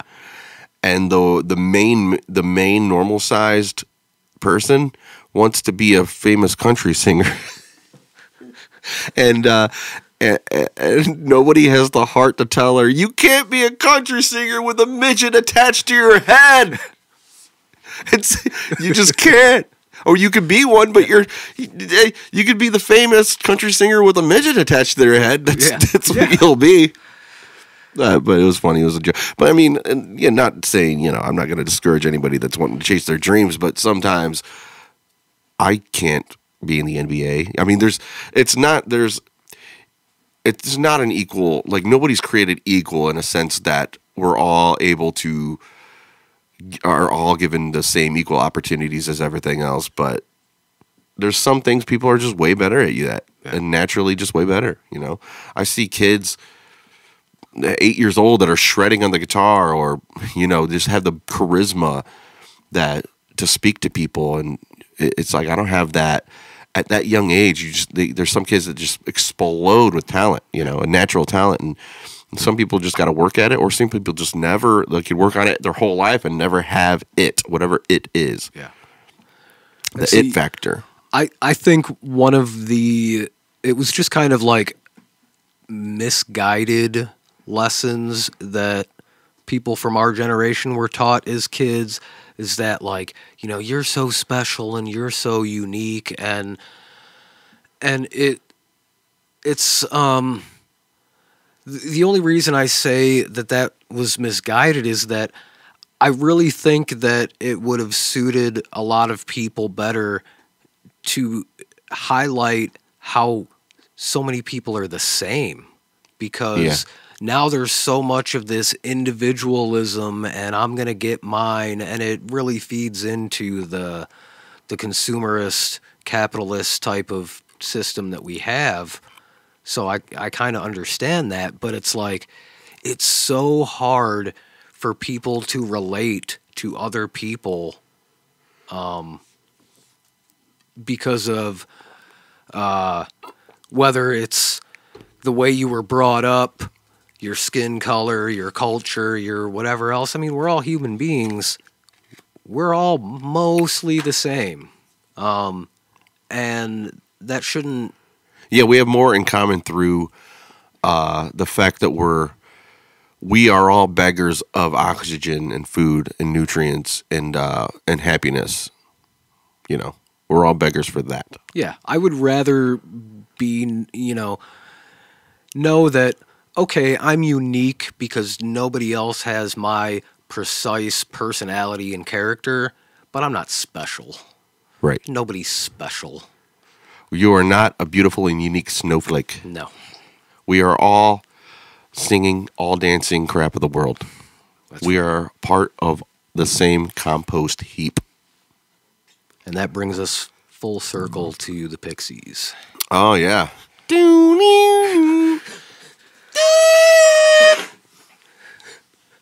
That song was uh dropped I think in 88 89 sounds like a 90s tune, doesn't it? Yeah. That's a yeah, I think they that's a good band that probably like them and Nirvana, things like that.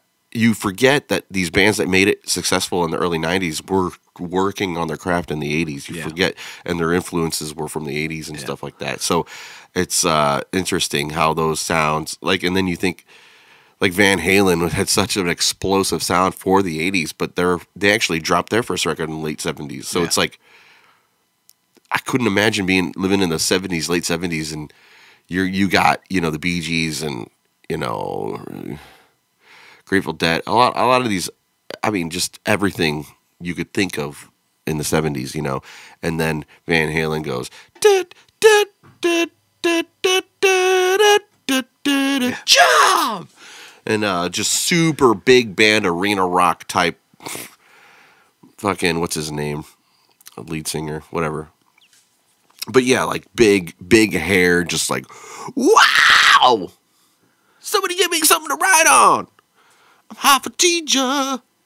I know I had a really strong urge to um, call my dad up the other day and be like, "Hey, Dad, first Black Sabbath album just turned fifty. You fucking old guy." yeah. Wow. Because I mean, and it, it's it's weird because you know that's it. Even it it makes me reflect back on my childhood and like you know how Marilyn Manson like if oh my god I listened to Marilyn Manson and that just scared the hell out of the parents. You know where for for my parents' generation, it was Black Sabbath and Alice Cooper were like the you know the scary, oh my god type of stuff. Yeah. And then you fast forward to now, like a few years ago, it was Halloween, and I was thinking, what music do I have in my collection that's like scary, you know, um, fits with the Halloween theme, but doesn't have curse words and is like safe for kids. And I'm looking through all the stuff I have, and I was like, Black Sabbath, that's safe for kids. Yeah. Where when my parents were kids, it was anything but that. Right? I love this song. I don't want to get doxxed. He's like the new uh yeah, he, I mean, he- Still, I he- mean- he's uh, he. This is like almost classic rock now. Oh, I know. It's it's it's crazy.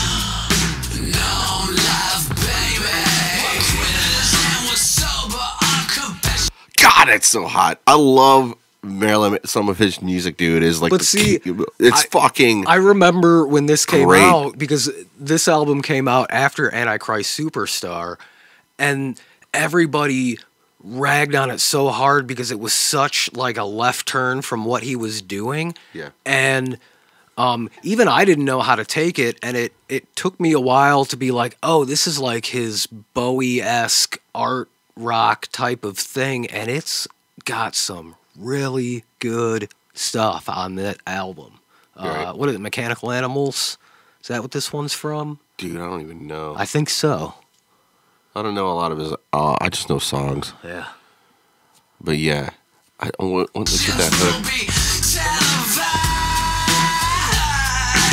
This is like the things that you get docked for on YouTube. Yeah, Oh yeah. I'm Like, oh, you played. uh You played. uh I don't like the drugs, but.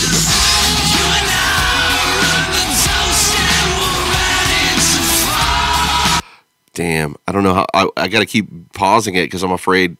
I'm waiting for that hook. I want to hear that hook.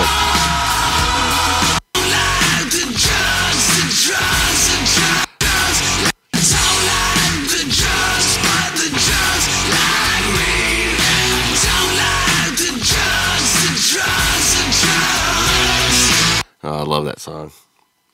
I don't like the drugs, but the drugs like me. You know what is interesting though? I I- and it actually it was it was one of my prouder moments because um, I don't have a good singing voice, but um, one of the times when I was doing my podcast with Brian, and I think it was an episode where we had my brother on. as a guest Extraordinary. and um, we had music playing in our headphones, but it wasn't. It, we weren't playing it out loud, and I think it was a Sublime song. So we were singing that, and um, it triggered the uh, whatever the YouTube The algorithm or the Yeah. digital, like, yeah. Yeah, and I was like, oh well, I guess we were at least somewhat. You know, we were at least On- in key. You know. Dude, that's crazy. That is crazy that it picked up on that. Yeah. We'll see. Uh last episode I did uh there I think there's something uh I think depending on what company owns the rights, like if Warner Brothers owns it, dude, you can't play anything. Yeah, it seems like BMG. Is that the same? Is it like Warner BMG? I'm not or- sure. or I don't- know. Uh, I played a little bit of. Uh, it was the uh, a Blues Brothers tune. It was, uh, and all I played was uh, "Come on, baby, don't you want to go?" That's it. And they didn't even upload my video. Yeah. For that. And I'm like, And you got to be it- fucking kidding me. Is it still like you don't even know until you've sat there and let it process the whole way, and then it's like, nope. Yeah. And I can't. I don't know if it does go that way or not, but I feel like I would go to upload a video on YouTube, and it takes a. It would take a while for it to process, so I would just walk away, let it do its thing, and then I would come back. It's done. It would, and then I would go to click on it, and it would be like, "Your video's been removed for copyright, whatever." And I was like, "I just let it sit for six hours, like." And now I got to cut it out, and then I have to re-upload it again for another six hours or whatever the hell it is. A lot of Yeah. frustrating behind the scenes. Absolutely. stuff. Dude, it's a racket. It's a gangster shakedown too with the BMI. Uh, people ask me to stream stuff or put plug in their phone or play something off YouTube when I'm DJ, and uh, when I'm getting paid, I'm not allowed unless I'm. It has to be anything that it's on my hard drive that's licensed and bought and paid for. Everything on the hard drive is bought and paid for, not by me. I work for uh, for Scott Desluver, which I- I'm going to have him on the podcast at some point. Um, I uh, I'm not allowed to play that because BMI can. It it would take a physical person to see that and to doc and to say, "Well, okay, we're gonna charge you," but that's a ten thousand dollar fine on me personally. Yeah. If I was to do that, because I'm getting paid, and I'm streaming. If I was to stream off Spotify or YouTube, they they could they could fine me ten thousand dollars legally. Ridiculous, ridiculous. Even if I bought and paid for Spotify account, you know, it doesn't matter. Yeah. And I've seen bars that get that have gotten it, like gotten or nearly ruined their fucking business. Who has ten thousand dollars to just throw at something, dude? When you have a bar, and a lot of times people think, oh, they're worth this much money. Yeah, because it's a it's a working, it's constant. It's a it's a a wheel that turns. It's a the company is a all that money is constantly being reinvested in itself. It's a an organism of financial organism almost. Yeah, you can't, you know, because you're you're taking money from your bar sales to buy more alcohol and then Pay your that- employees. Yeah, you know that constant cycle where you can't just have an a ten thousand dollar extra. Yeah, for like boom, you have to save that or in your you know margin, you know your profit margin. A lot of people don't have like a profit margin for a BMI case against you. You know, it could ruin you. BMI is just a bunch of gangsters, dude. Yeah. shaking you down. They're outside the government. You're an independent company that is just able to use the government to get money from you. And that's what I don't like. I mean, there's moments where you have to be like that. It has to be that way. But come on now. You're just playing some tunes. You could get fined if you have a store, multiple speakers. You have to pay uh, a certain amount of money per speaker in your store Wow. and uh, it's pretty crazy. I think it's a a scam. I think there's wa- probably ways to fight it, but a lot of people can't afford the lawyers, and a lot of times that's why settlements happen. When when it's cheaper to settle, most of the time, and you just pay it off. That's why there should be due process for everything. You know, you can't believe in everything because. Uh,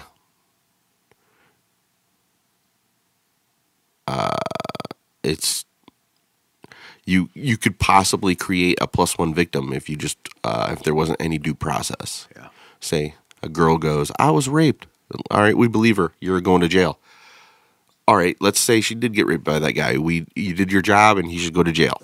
Uh, what if he didn't? Now you created a plus one victim by the system. And the system needs the thing that sucks about due process and un- innocent until proven guilty is that sometimes people that are guilty get off. That is true. But it eliminates the the the ability to create a plus one victim from the system. Yeah. Uh, sometimes justice isn't served, but that's the yeah, that's the nothing's perfect. We're all a bunch of humans that poop, and sometimes we poop in our underwear too. So, if you're still listening to this in the comment section, uh, hit uh, or actually type in uh, type in the word drugs. Just type drugs into the comment section. The word drugs. Let us know you watched the whole thing or listened to the whole thing. Anybody listen on Spotify? Uh, thank you. And check out YouTube as well. The Funbox Podcast on YouTube. Uh, you could see the cutaways. You you get just more content, visual content, and uh, so that's cool. I'm really happy about that. Super excited that I finally have a streaming uh, platform now. Whether just even if it's just one platform, uh, Feels legit. yeah.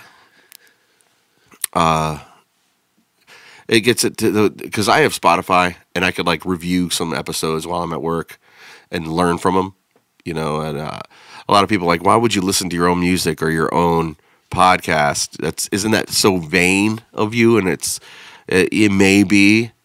I'm doing it to learn, and a lot of comics will say that they'll listen to their sets to get better and uh, to round out, cut off the fat, round out the edges, and trim the edges and you know, you have to do that.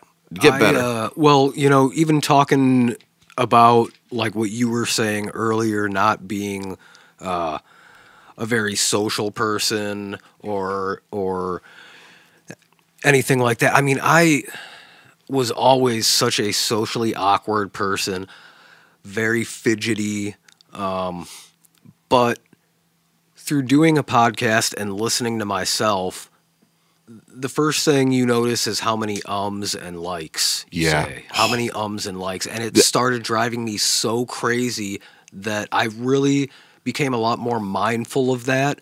And it's carried over into the way I speak in the real world.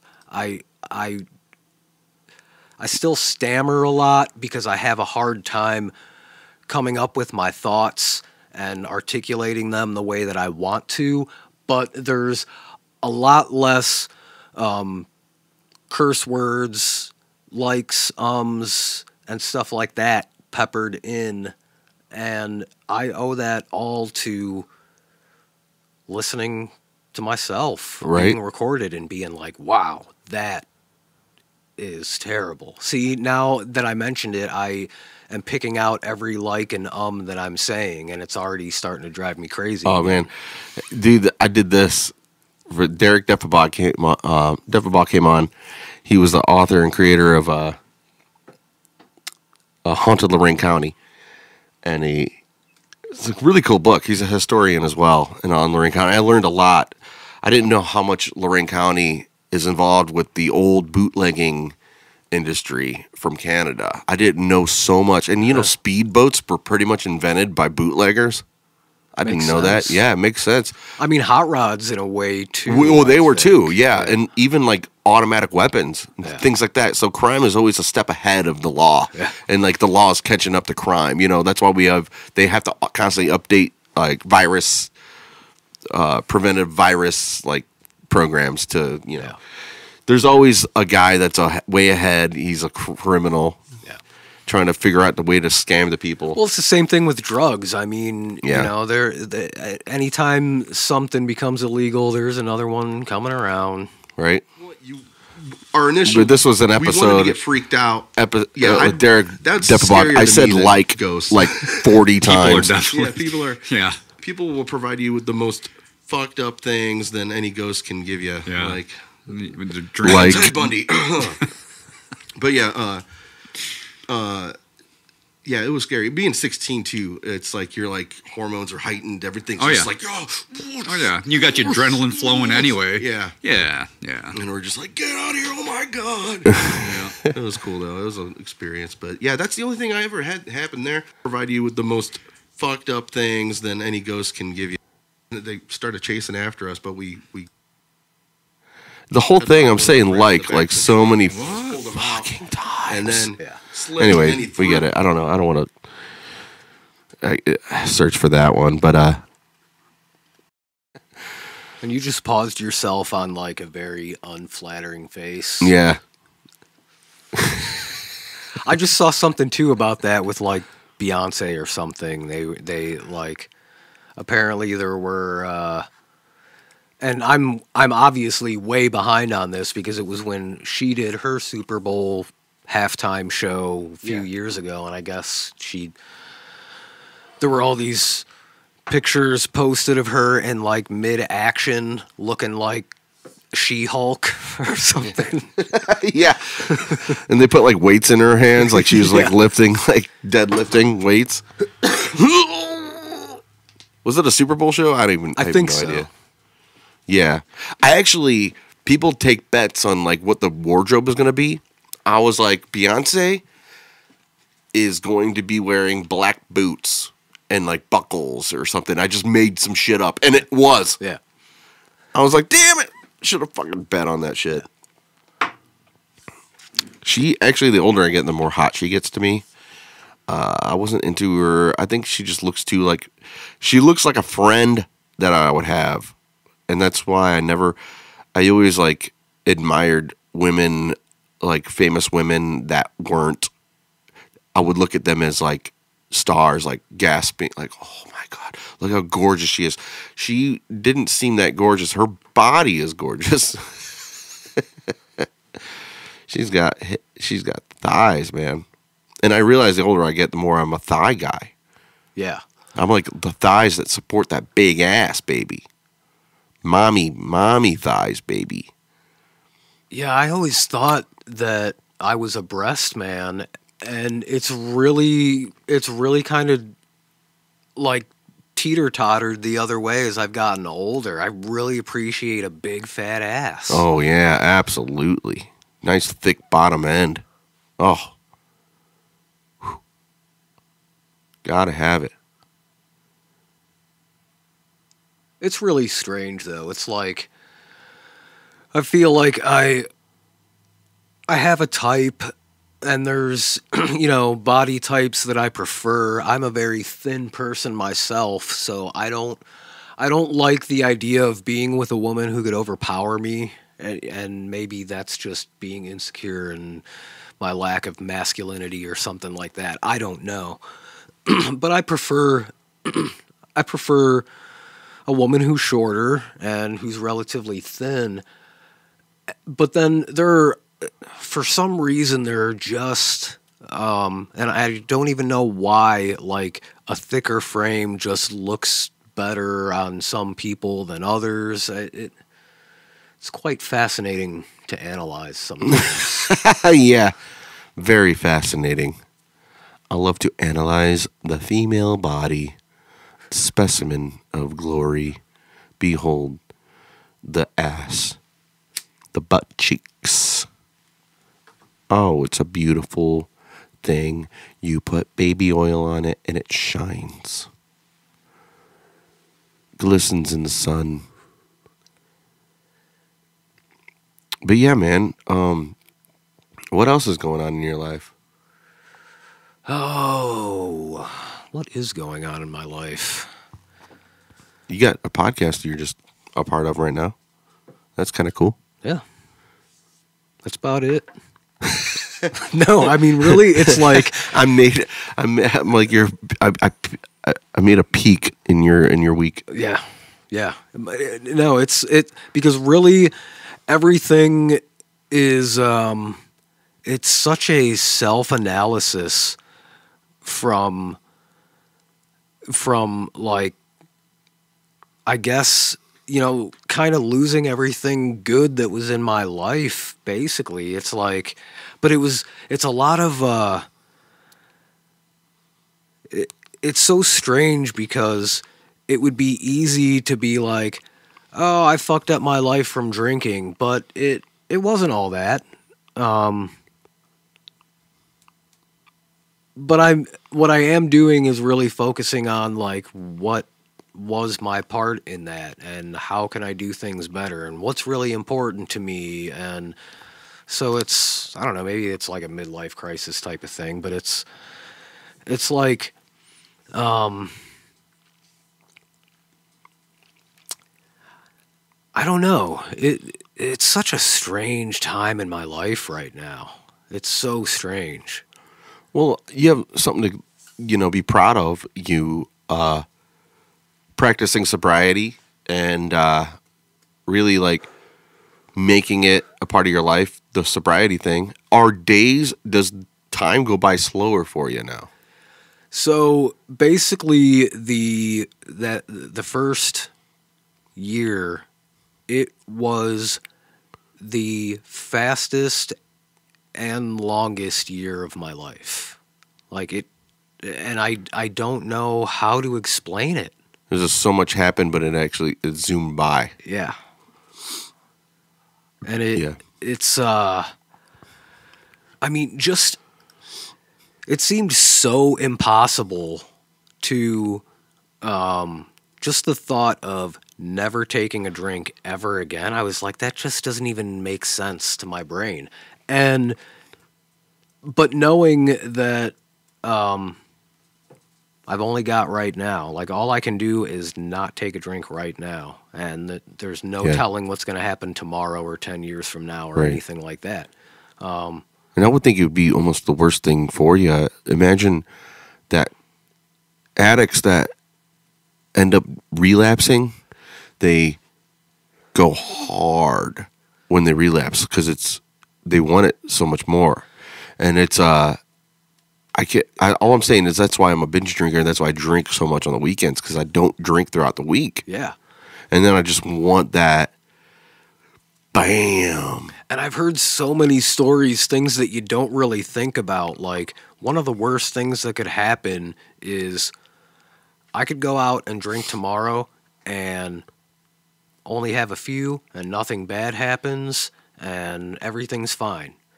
That's one of the worst things that could happen because then I'm like, oh, well, I'll just do that. Yeah.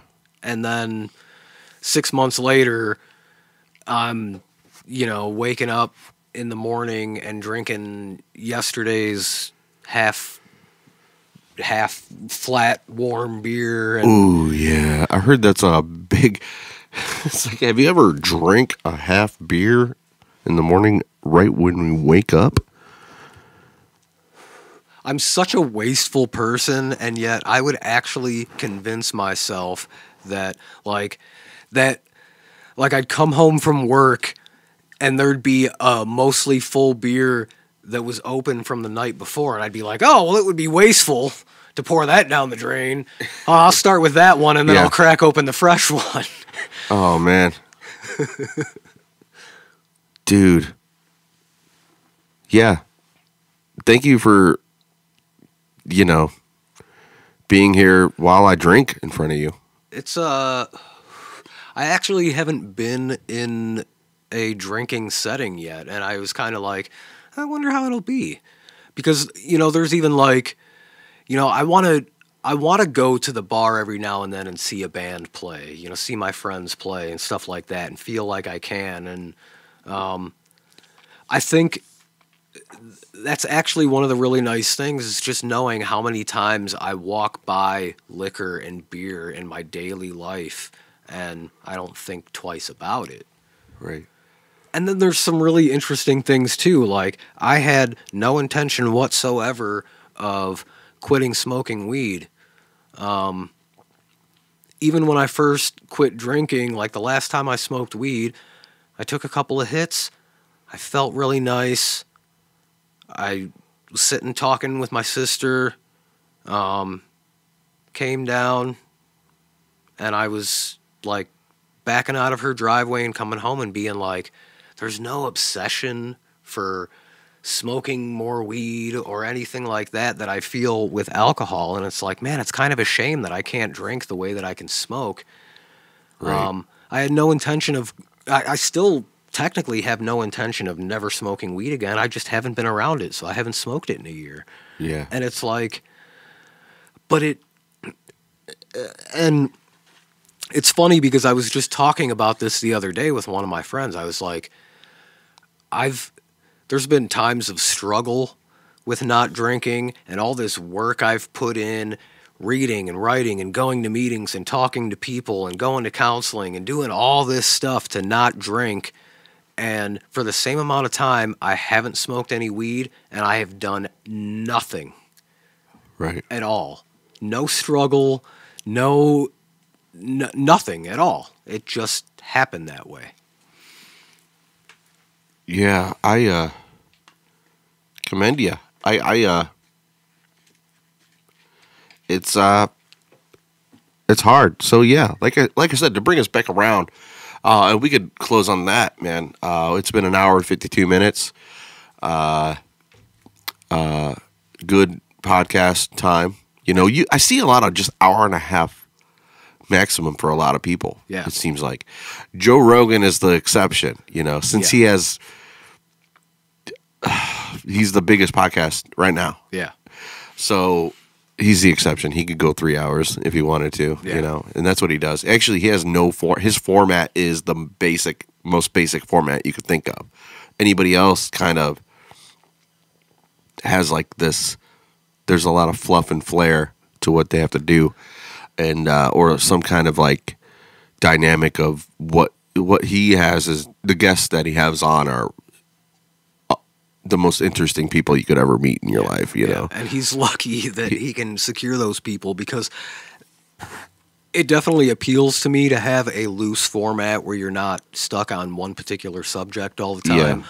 But because I have a lot of interests. Oh yeah, that's why I, this is kind of like the fun box is. It's everything uh, to me. The fun box is life. Like uh, whatever this is, the box of fun. Yeah. I can have fun talking about serious things, and that's fun for me. Yeah. It's fun.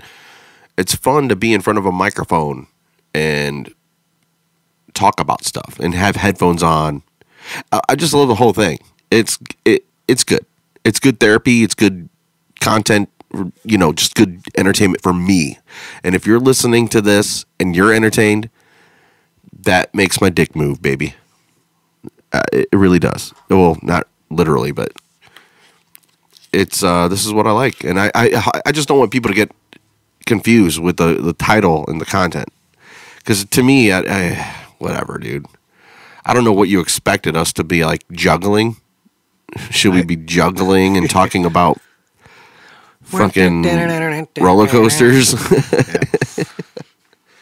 The next big roller coaster. Well, I could. I love roller coasters. Uh, I actually got to ride the Top Thrill Dragster. We could close on this, and what I'll do is I'll do a POV of the Top Thrill Dragster, not the Top Thrill Dragster, but the uh, POV of uh, Steel Vengeance from Cedar Point. We live right by them, by right by Cedar Point. So if you're wondering where we're filming, we're on the lake, baby, Lake Erie, near Sandusky, Vermilion, Ohio.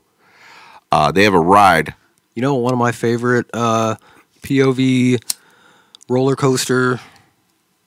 Dude, the Steel Vengeance is- is the best. Well, I'll let you finish, but I'm just saying the Steel Vengeance is going to be the best roller coaster of all time right now. Yeah. Um, but yeah, go ahead.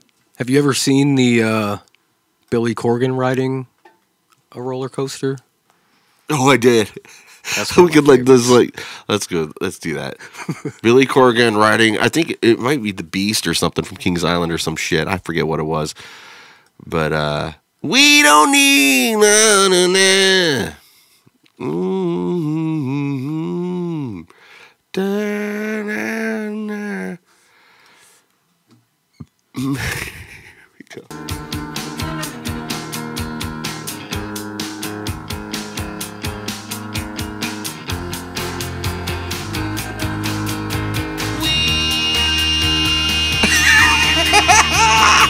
All right, that's good shit. Oh my god. But yeah, to close us out, I'll play some POV of uh, the Steel Vengeance, along with a song I did with Ello, Robert Risden. Here we go. Everybody wanna be a part of the money crew. Oh, yeah. Baby, I'm a feeling like I'm another lucky tool. I can't find And dude, Mike, thank you for coming on. Anytime. Thanks for having me. Hit the rock, don't smoke it unless it's free. Good night, guys. and the bottle ain't empty. We can't stop cause we got plenty. To mix drinks, mix drugs, Molotov, lit up, spit Dutch, split up, get cooked, the pianos all hit up like a car crash when the kids drunk. And now I'm higher than a kite when the wind comes. You can call me Big Dunk, keg stands on my hands, don't give a fuck, yeah, I'ma get slammed. Harder than your fingers in a car door, hotter than the hottie that I'm hard for, hard for, hard for. Yeah, this shit, this roller coaster is. Just look at this shit. Blow your fucking mind.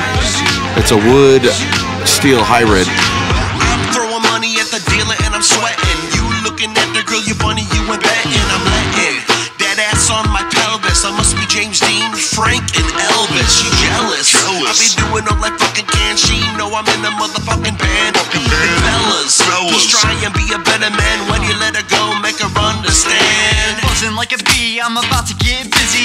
All I need to know is, honey, is you with me?